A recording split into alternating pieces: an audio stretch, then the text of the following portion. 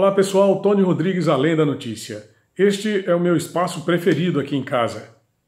A sala de leitura, a sala Amália Souza. E hoje eu queria compartilhar com vocês a leitura deste livro, Rede Globo, Mercado ou Cidadania, da professora Jaqueline Dourado, da Universidade Federal do Piauí. Segundo a professora Jaqueline Dourado, a mídia não apenas constrói e reconstrói realidades a partir de seus próprios interesses e de suas lógicas ela também propõe modelos de comportamento e age pedagogicamente, buscando ensinar aos sujeitos como exercer os diversos papéis sociais que devem desempenhar. Grande abraço, fique em casa e leia comigo. Valeu. Tony Rodrigues, além da notícia.